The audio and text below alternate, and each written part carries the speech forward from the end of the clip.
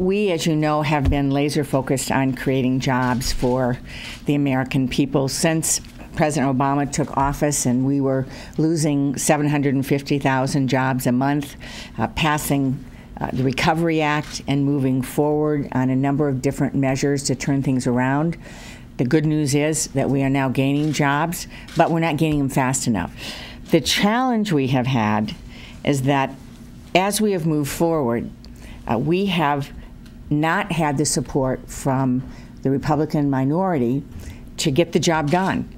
Uh, we have passed significant legislation that's made a difference, but we also have been blocked on a number of fronts. There has now been 245 uh, motions uh, to either to file cloture or objections this session, which is the most uh, ever uh, in the history of the country.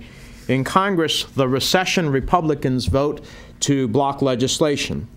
On Main Street, those are votes to kill jobs.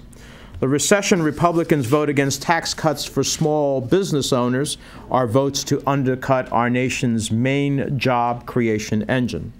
The recession Republicans votes to preserve tax loopholes for employers who ship jobs overseas are votes to give American jobs to foreign workers. Recession Republicans votes to block an extension of unemployment insurance for laid off workers at a time when job creation hasn't fully recovered are votes not only to kill jobs, but also to let families sink. We can go ahead, uh, according to Senator Kyl, and have tax cuts that are unpaid for and add to the debt but we cannot take care of those families struggling in the economy they created. Bottom line is we are in a situation where over and over again, as we work to uh, move this economy forward, as we work on policies that are clearly turning things around, we are not all the way there, but we are coming out of the hole. We are hearing from the folks that dug the hole that we should give them shovels to go back and dig a bigger hole.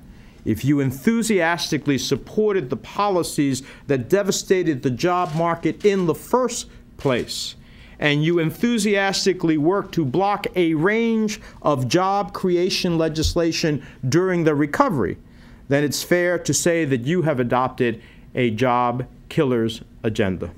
It's a strategy meant more to increase their size in the Senate than it is to create the number of jobs necessary for our families. And in that respect, uh, it is, you know, not a political equation. It is a horrible equation for the nation's future and for our families' future.